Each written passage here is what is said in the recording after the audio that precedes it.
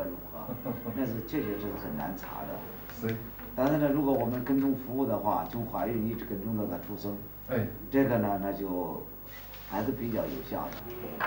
To ensure couples don't abort their daughters, the government has made it a law that they register any pregnancy. Downstairs, one couple is enrolling for the tracking service. Yang and his team will monitor the pregnancy to ensure girls aren't aborted or neglected after they're born.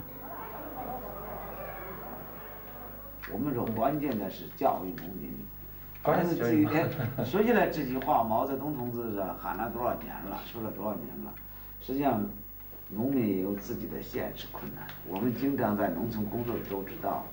特别是我们山区贫困地方，是一个实际上观念和实际的生活当中呢，比如说生了了过后，那么我们我们的风俗习俗，女生的女儿了，她就打不出去。那么那个时候家里面就没得男孩，那么他就比如说老了年老了。需要喝点水，是吃点饭。那个时候他就不能动的时候怎么办？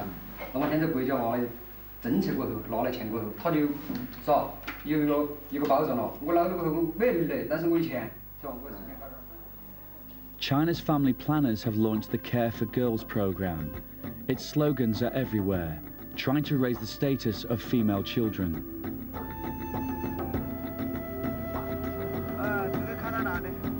Part of Mr. Yang's job is to promote this vision. Today he's off to visit a family with two daughters. The urgent need for more girls in rural China means that here, if your first child is a girl, you are now allowed to have a second. That's why this family has been chosen as a showcase for Mr. Yang's team. 我们镇里边、村里边，对平常对你们这个双女户家庭有没有什么呃优优惠政策呀？各种提供各种照顾啊？也对于当地的公社也好，他们领导好，经常都来看望我们，看望的那个小孩。他们做工作的是做的特别周到。我说的我是 前几年就和哪个有弄个关心我们？那他们觉得生男孩生男孩是不是一样好啊？女孩还要好点。As a bonus for having daughters, all the furniture in this room has been paid for by Mr. Yang's department.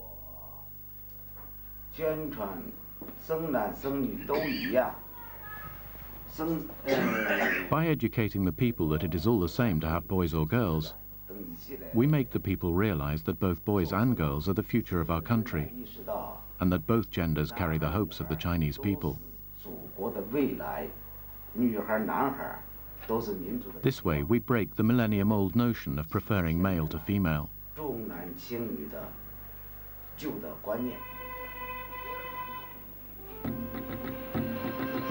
Mr. Yang's next stop is in a much poorer area. Here, another family with two girls is struggling to survive. The father is blind and can't work. But now they can look forward to an annual pension just for having two daughters and an appearance by Mr. Yang at their home also raises their status in the community. He doesn't come empty-handed.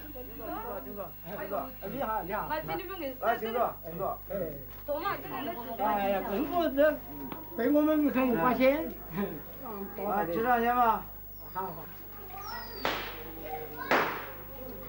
你家里面几个娃儿呢我两个娃儿大的个娃儿十二岁就出去。啊我收到残废嘞过后叔以说反正好像点我三号了二都过不到过你了十钱就是岁数是养大点了就就出去找了生活过的自己自己找生活才十八岁 How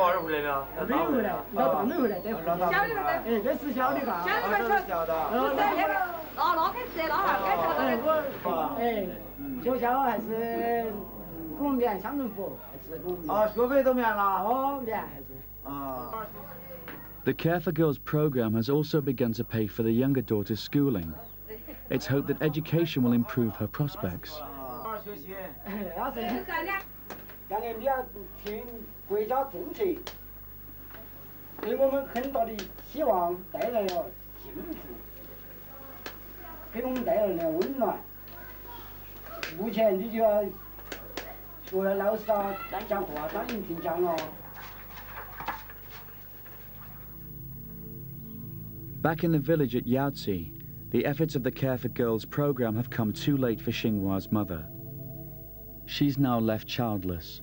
while her only son travels to the city. She was part of the first generation of parents to be forced to have just one child.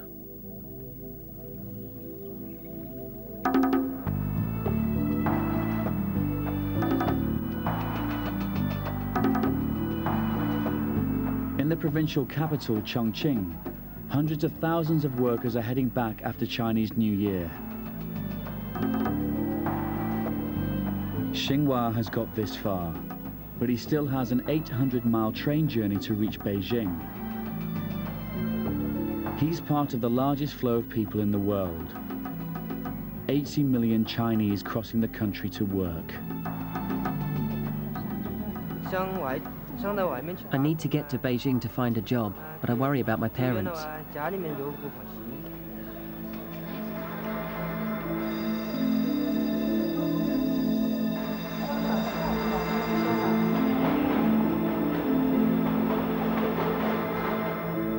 His parents have saved up enough money for his ticket, but little else.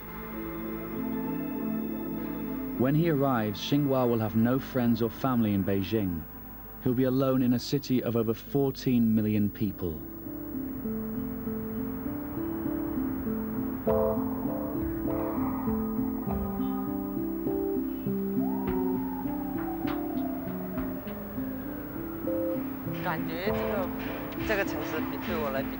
I feel Beijing is a strange city to me. I just arrived and I don't know anybody. The environment is very noisy and dirty compared to my hometown.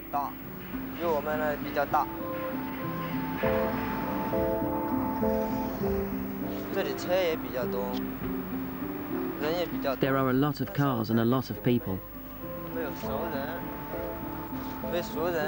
But I have no friends here.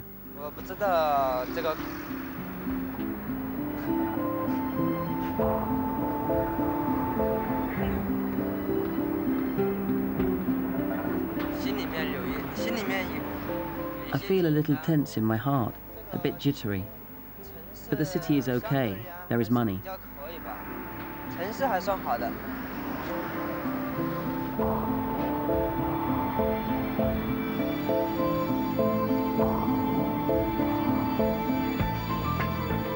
In the cities, the gender imbalance is less obvious than in the country. The sheer number of people here helps to disguise it, but it still exists. And for city women like Xiao Ying, with money to buy the goods they want, it provides even more freedom to choose the right partner.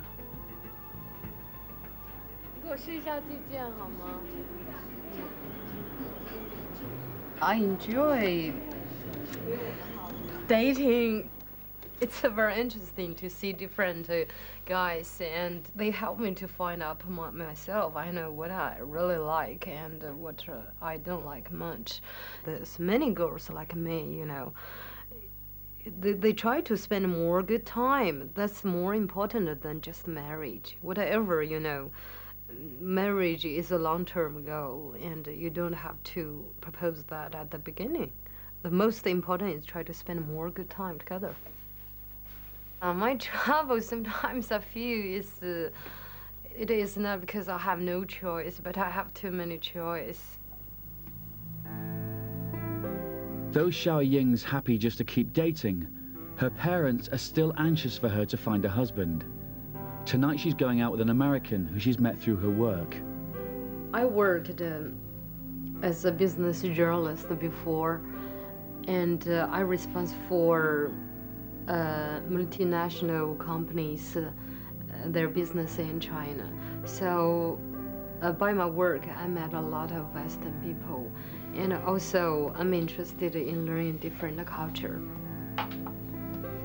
Tonight I'm going to see a nice guy.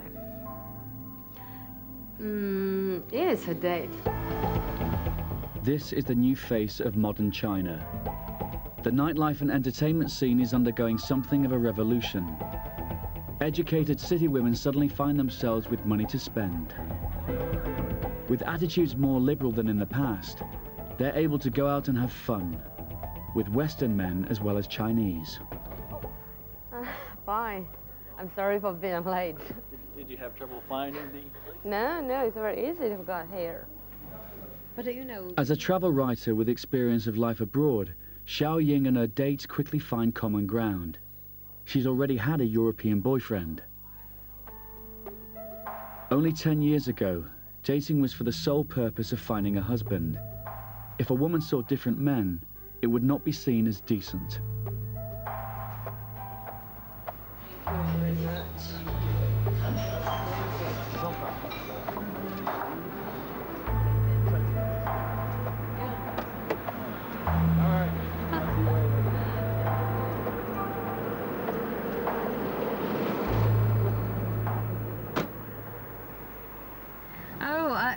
I, think I like this guy. Uh, I like the humor he has, uh, and I enjoy the conversation very much. I told me that he hasn't met such a girl like me, but I told him there are a lot of such girls. I just one of them. Xiao Ying told her date about the book she's planning to write on Vietnam. I, I told him that I'm going to Vietnam for this work. He told me he told me maybe I should go with him and he can help me to carry my luggage something. and uh, yeah, maybe someday.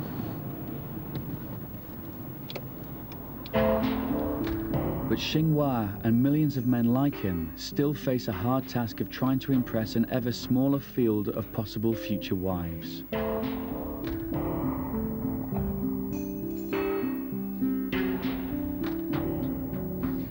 He's finally found a job on a construction site, living in a dormitory with three other country boys. The work is seven days a week, 11 hours a day, all for just two pounds a day. If he can last out here till next spring, then perhaps he can head home with enough cash to impress a potential wife.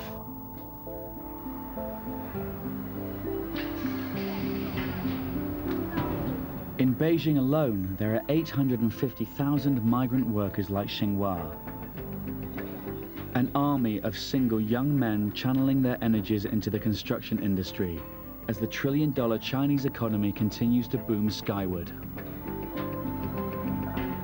With the Olympic Games coming to China in 2008, construction of new hotels and housing has exploded. It's a completely different world from the village at Yaotse he left behind.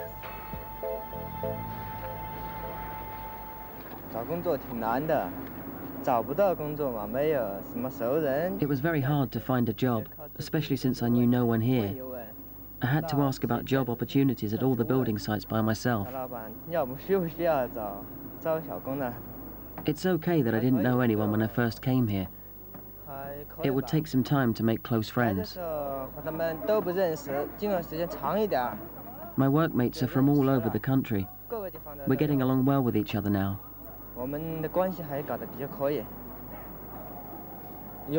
I missed my family a lot when I first arrived but not so much now. It will be better over time, I'm sure.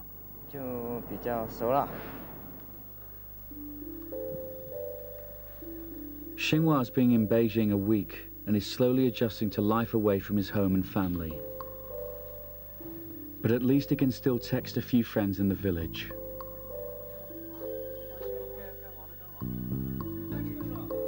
Xinghua knows that in the next 12 months, the money he saves could be crucial. But at this time of year, the temperature at night on the building site can drop to minus 10. There's different food, long hours, and the punishing work. It's all a culture shock.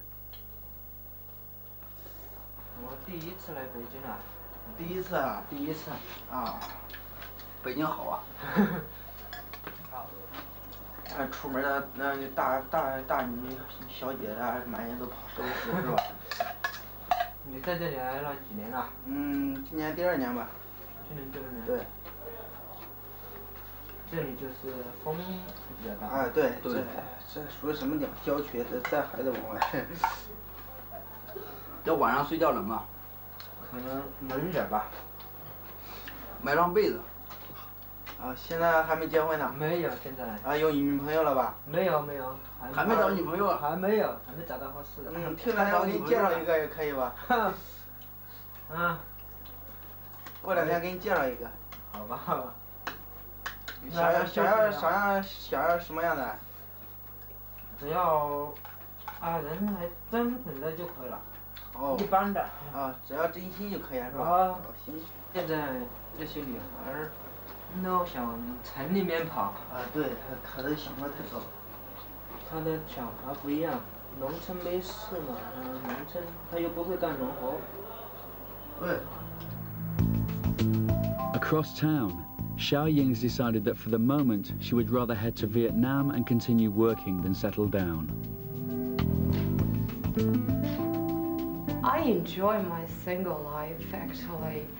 I, I can do anything I want. I want to go travel and I can meet out different uh, friends in my trips. I will go to Vietnam first. I, I plan to write a book about this country. As a writer, Xiao Ying at least has the freedom to travel, to escape the demands of a society that still sees marriage as the best thing she could ever achieve. I, I can keep away from the pressure and uh, enjoy my lifestyle. For Xinghua, the issues are more basic. He just doesn't want to become what the Chinese call a bare branch, a man without children. But without his family and familiar life, he's finding the city very difficult. Two months have passed. Xinghua's given up his dreams in the capital and returned home. He's come back to find the house empty. His parents have left for Tibet to find work in the hope of improving their son's situation. But Xinghua won't be going back to Beijing.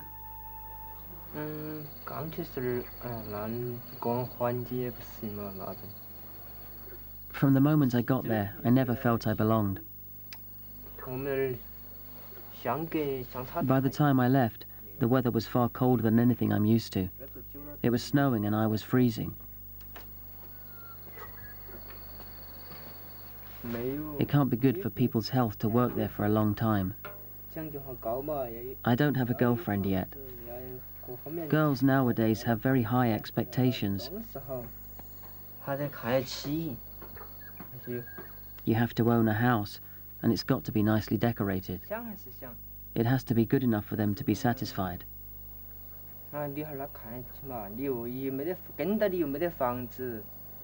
What girl would ever fancy me?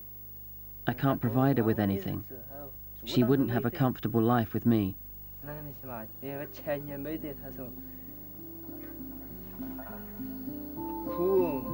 I can't get a job that'll let me make enough money.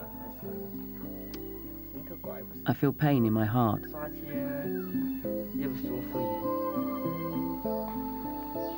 But I will keep on trying.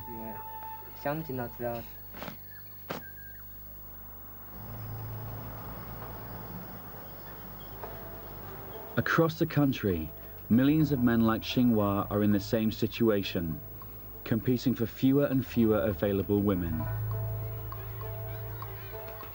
The Chinese government admits that if trends continue, by the time these boys are ready to marry, there'll be over 40 million more men than women. The construction boom will keep the single men of China occupied for now. But even those who persevere may never find a girl to marry.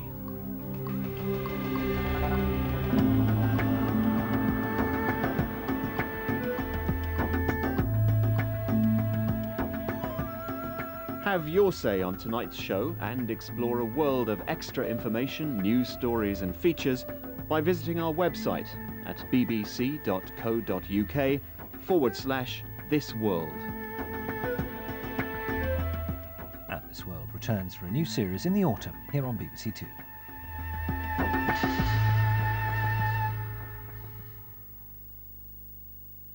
Pakistan is in the front line in the fight against the new Al-Qaeda. Its leaders oppose the extremists, but it's home to some schools for radicals. Now I've been given unprecedented access to the men who've looked Al-Qaeda in the face. Peter Taylor investigates the new Al-Qaeda, Monday at 9 on BBC Two. Way back when, the world looked like this. Nice and simple. But then, pesky little things like attempts at global domination started to spoil things. So I thought there has to be a better way. What if I could create my own country? Get a flag, become a king, get in the UN or Eurovision? All I need is a territory. Hmm. Join Danny Wallace, lunatic or potential world leader. How to start your own country. Tomorrow at 10 on BBC Two. Do you think I'm going to pick that up and throw it, though? I ain't throwing the ball. Do you think I'm a servant or something? Are you calling me a butler? I ain't even bothered, though. Look at my face. Look at my face. Don't look at the ball. No, look at my face. Look at my face. I ain't even bothered. I don't care. Bothered. Face. Look. Ball. Face. Bothered. Face. Bothered. I ain't bothered. BBC Two, pedigree comedy.